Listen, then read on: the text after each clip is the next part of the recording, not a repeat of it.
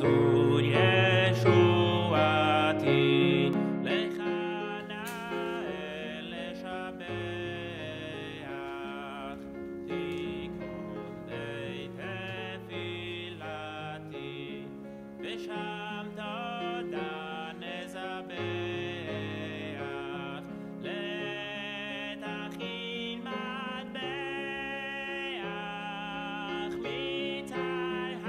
Доброго вечора, друзі!